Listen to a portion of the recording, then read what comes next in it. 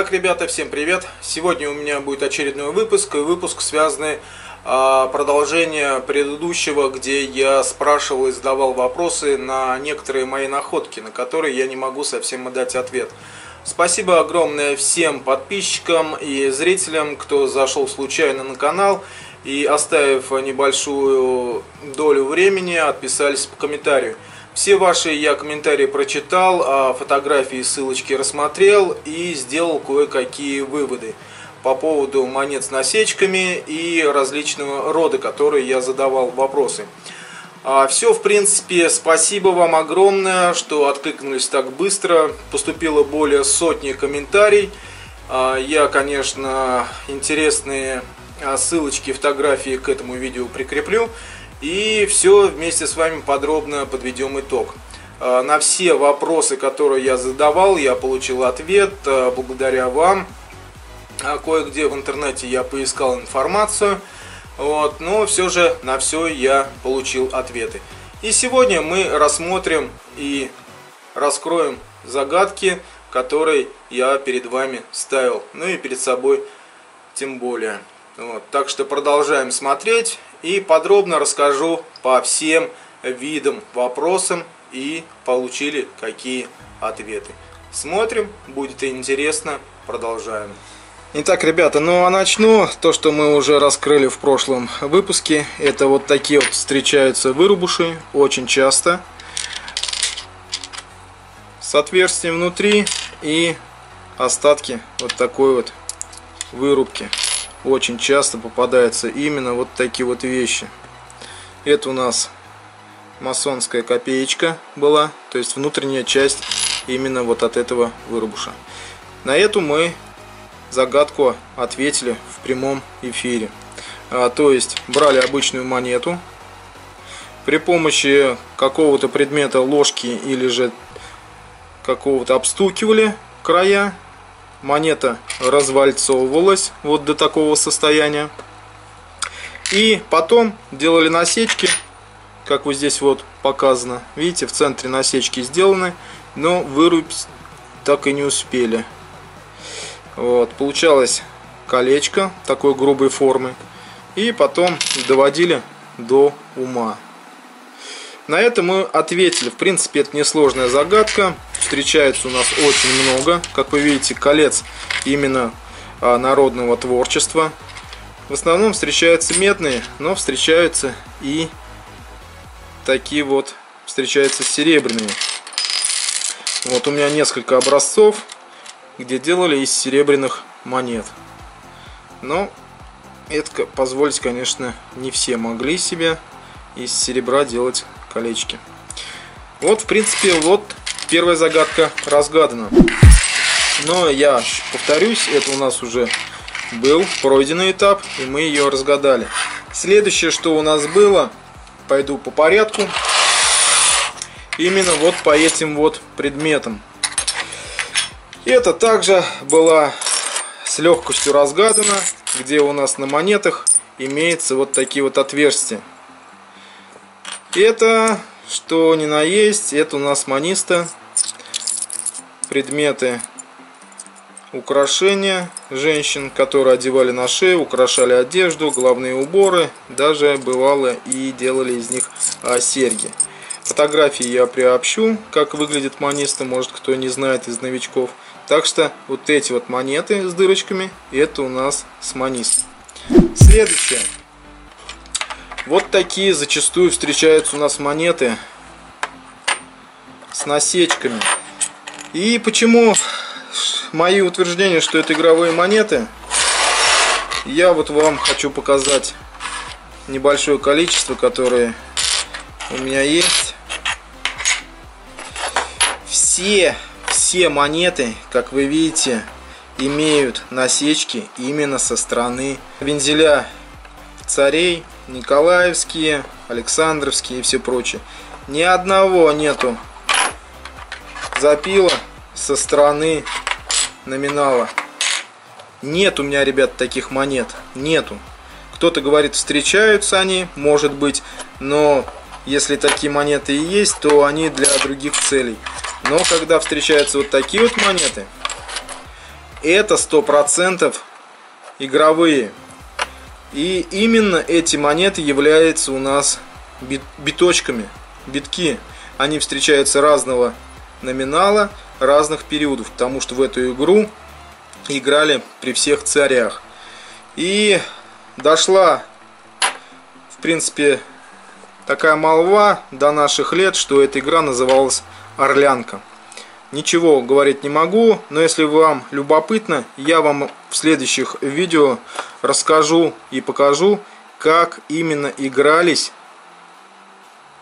в эту игру в деревнях, в городах и селах. Именно вот такие вот использовали монеты, битки. И это у нас игровые монеты. Есть, конечно, монеты и с насечками, которые говорят, что якобы для вычесывания э, вшей, э, гнит, ну и все прочие гадости, пакости. Вот, это тоже вариант проходил. Может быть, может быть, но как вы думаете, вот такими насечками или вот такими вот можно хоть что-то вычесать. Я пытался делать эксперимент, хотя бы э, говорят, что это еще использовали для борточеса. Вот. Пытался расчесать мех такой монетой. К сожалению, у меня этого не получилось. Можете сами сделать эксперимент и попробовать вот такой вот штучкой из своей собаки или кошки вычесать хоть одну блоху. Я думаю, не получится. Это однозначно. Тем более гниды они у нас личинки этих существ, они довольно-таки мелкие, и я думаю, вот эти вот насечки на монетах не справятся и не вычесут. Также говорят, что эти насечки используются для умерших, то есть ложили на глаза. И это тоже неверно, я думаю, вы меня тоже также поддержите, что это нереально. Говорят, что еще делали насечки, выпиливали отсюда медь для а, своей скотины. Говорят, медь имеет свойство лечить животных. Это я утверждать не могу. Но сами подумайте, если вы делали бы такие вот а, манипуляции с монетами, чтобы добыть медь, я думаю, вот так бы вы не пилили напильником. А просто-напросто вот так вот взяли бы напильник и счесывали. Так гораздо удобнее выпиливать. Также говорят, что это у нас для наматывания ниток. Возможно, возможно, все возможно, но, к сожалению, не наш случай. Вот. Также встречаются у нас вот такие вот интересные. Тоже задавал вопрос, что это такое, для чего. И здесь один у меня только ответ. Это у нас была монета, заготовка для изготовления шпоры. Но, к сожалению, ее не доделали. Вот. Фотку я прилагаю, как она должна была быть выглядеть после своего завершения. Это у нас заготовка для шпоры. Следующая у нас была вот такая вот монета. Это у нас Екатериновский пятак. С одной стороны сделана вот такая шлифовочка. И видно в центре имеется накернение. То есть это у нас была также заготовка, но заготовка для тестореза. Всю информацию я прикладываю. Тесторез. Следующая монета это у нас вот такая. В центре отверстие. И все, что я могу сказать про это, это у нас либо заготовку под тесторез также, но все же это у нас была, наверное, заготовка под шайбу. Шайба под вороток для закрытия калитки. И фото я тоже прилагаю. Это единственный вариант, какой я могу вам сказать, потому что никто более мне не ответил, для чего вот такая вот монета. Следующие вот такие рубленые монеты встречаются. Получал я ответы множество разных, кто говорит для переплавки монет и все прочее, но здесь один вариант. А, их просто-напросто рубили для размена. То есть в свое время была а, редкость таких монет, как 1 вторая копейки, 1 четвертая копейки. И для простоты обмена, то есть сдачи, а, монеты рубили нужного размера, нужного веса, чтобы соответствовал именно монете 1 второй копейки, 1 четвертой копейки. Вот такая вот версия у нас была выдвинута. И я думаю, что это единственный правильный ответ. Следующие встречаются вот такие вот монеты рубленые. Просто вандализм какой-то. Я так предполагаю, что это тоже пытались разрубить монету для размена. Но, к сожалению, что-то пошло не так и просто-напросто ее забраковали. Или же так вот осуществлялась утилизация монет. Их встречается очень много. Рубят их, уродовали. Вот такие вот объяснения по данным монетам. Следующее, что у нас было, это вот такая вот фиговина. Говорят, кто это фальшиво-монетчиков штамп. Кто-то говорил, что это оттиск печати для а, печати замков амбарных. Вот это как бы фамильная, вроде как самодельная. Но здесь другая версия. Это, ребята, у нас а, печать, штамп а именно на почте. Раньше в свое время использовали так же, как и сейчас, именно платежную систему. Сейчас у нас клеются марки на почтовые конверты, а раньше а, скрепляли при помощи вот такой вот печати оттиска на конверт, тем самым стоимость э, отправки письма составляла 2 копейки. Такая у нас печать, один подписчик мне говорил, что в Нижнем Новгороде в музее лежит. Вот, и описание данной штуки там есть, и он мне ее передал. Так что это у меня не высосано из пальца, а вот такая-то информация из музея. Вот такая вот вещица интересная. Довольно-таки, довольно-таки редкая. Следующее что? Вот такой вот орел у нас был. Очень много интересных было вариантов, что это у нас э, от рукояти, от ножа, от э, настольного прибора, там, например, печати, и от шлемов, и все прочее. Очень много, даже скипетра, и очень много интересных было вариантов по данному вот сюжету. Но, к сожалению, это не так, не так. Нашел я кое-что.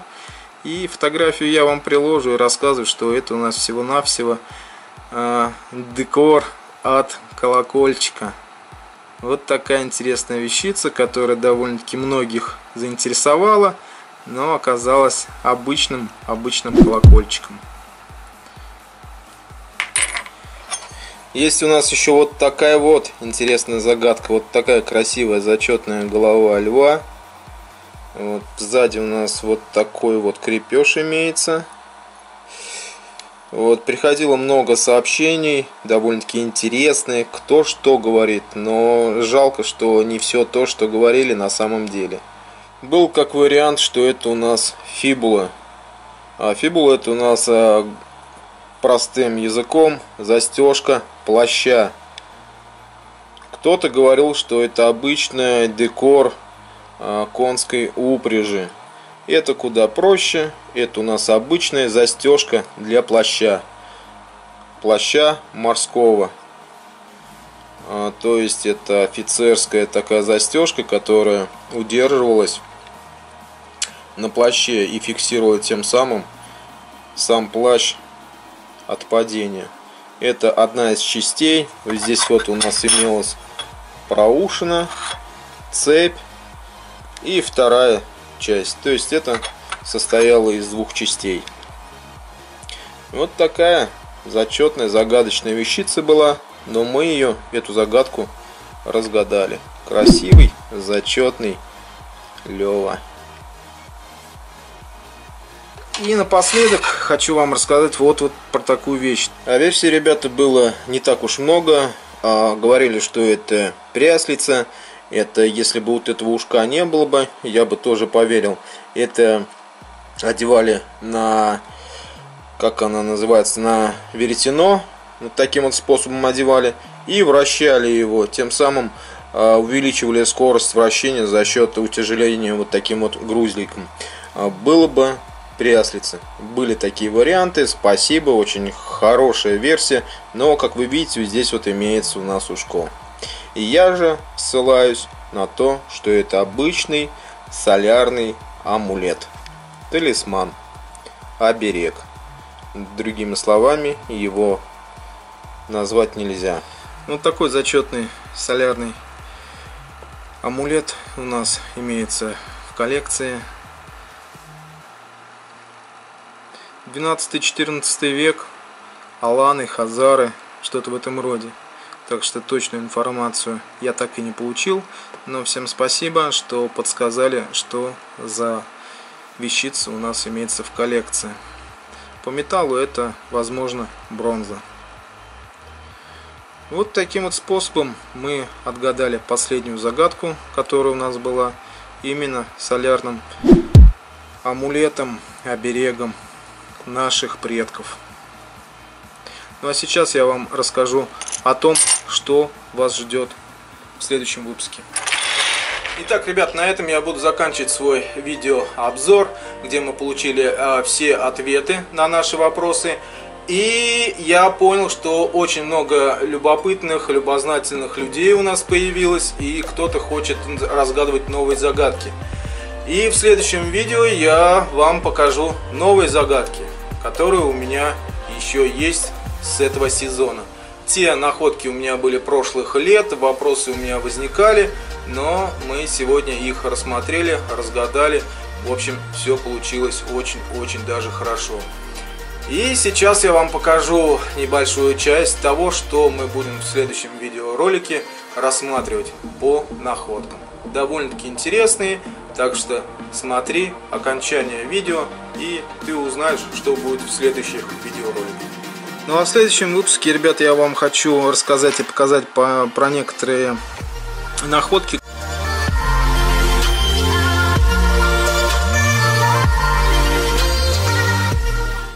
Ну на этом, ребята, и все. Всем пока, всем удачных находок, новых сезона открытия и вот таких вот необычных, интересных находок, которые иногда просто взрывают мозг. Что это, как это и почему. Удачи в новом сезоне. Пока.